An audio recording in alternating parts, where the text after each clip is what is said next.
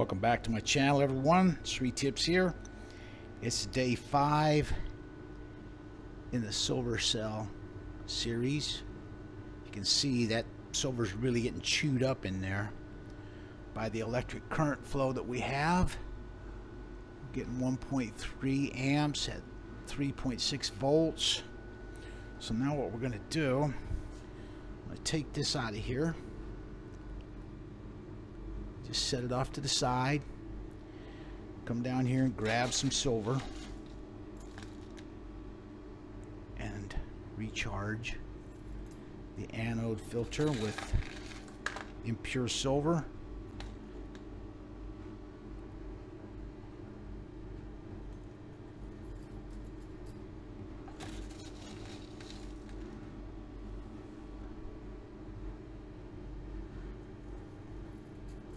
Let's put another one in there. This thing's going, moving along pretty good now with the increased amps that we've got. And that's a day's worth of silver that's been consumed out of the anode basket. And you can see here the amperage has bumped up just a little bit to 1.4 amps. Like I said, this is day five of the silver cell operation. Look at that beautiful silver crystal growing in there now. Very nice. There's the bottom of the anode basket. And you see it when I lower the top, the anode basket submerges and is suspended in the electrolyte. Can see down in the cell down there that uh, the electrolyte level has dropped off just a bit. So I think what we're going to do is uh, go ahead and add some more electrolyte in here. I've got some silver nitrate electrolyte in this jar. So what we'll do is we'll go ahead and add some of this into the silver cell because as I pointed out in previous videos I had a little bit of a problem getting that lid off. These ground glass seals seal up extremely well. So now we're just going to add a little bit more of the electrolyte into the silver cell. The silver in the electrolyte gets depleted as the cell operates plates out on the inside of the cathode in there so we need to uh, raise that level with more electrolyte the physical level drops off due to evaporation and the silver in our silver nitrate electrolyte gets depleted because it plates out on the cathode as the cell operates. Some people have asked, why do we even do this? What's the purpose of refining the silver? And, uh, gosh, I guess if you got to ask that question,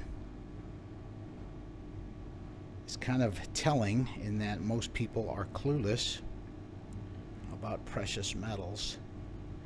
The silver in this silver cell is high purity silver, very close to four nines fine. And uh, every investment grade silver bar or silver round that is on this planet began life as pure silver crystal, just like you see in this silver cell. And so uh, silver is not really an investment. Silver is a store of value. I'm not refining this silver from this impure shot into high purity silver to make a profit. That is not my goal here because silver is not an investment. I don't want to resell the silver after I get done refining it to make a profit with more paper dollars. I mean, if you're into investing to gain paper wealth, then you should probably invest in paper. Silver and gold are not investments, they are stores of value. So, what I do is I buy silver and I uh, collect it, convert as much of my paper into silver as quickly as I can because paper is declining in value rapidly, whereas these metals are trending upwards. So I'd rather store my wealth in the metal rather than in the paper. Right now, I believe silver is artificially and grossly undervalued. So the price means nothing. And uh, I don't want to sell any silver right now with this uh, pricing system they have in place. If those entities want you in their paper and they can't afford to have you converting your paper into metal. So it's in their best interest to keep these prices suppressed. All right, this will conclude day five. Enough of my commentary about uh, why it's important to hold precious metals. People that hold the precious metals, I believe, will be glad that they did, and those who don't will wish that they had. And this will conclude day five of the Silver Cell refining series of videos. Thank you for watching.